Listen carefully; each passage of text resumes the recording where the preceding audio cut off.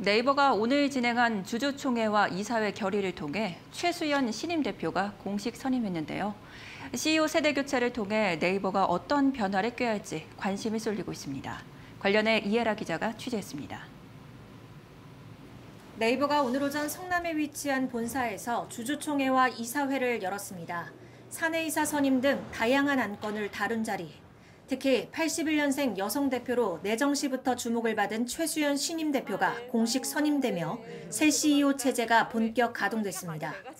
그간 네이버는 플랫폼사 규제에 따른 성장 정체와 사내 갑질 문제 등으로 잡음을 겪어온 상황. 이에 1년 전과 비교해 주가는 약 20% 하락했습니다.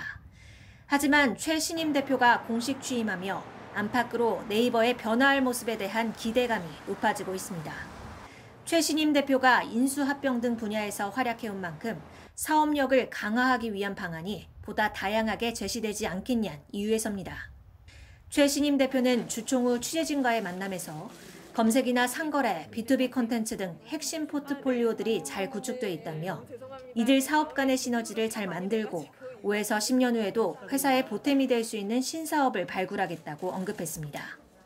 이에 기존 네이버의 주력 사업과 글로벌 시장에서 경쟁할 메타버스 등 신사업에도 보다 탄력이 붙지 않겠냐는 해석이 나옵니다.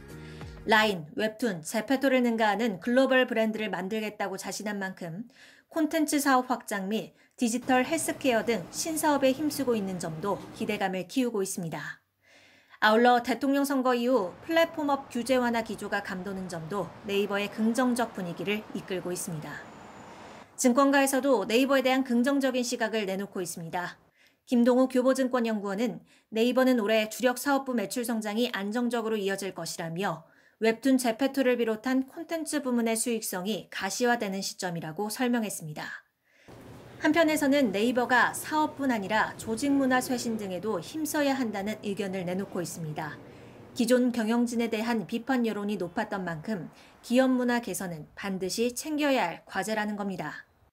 새 사령탑을 맞으며 다시 한번 발돋움에 나선 네이버. 지난해 부진을 뒤로하고 경영 쇄신과 주가 반등에도 성공할 수 있을지 주목됩니다.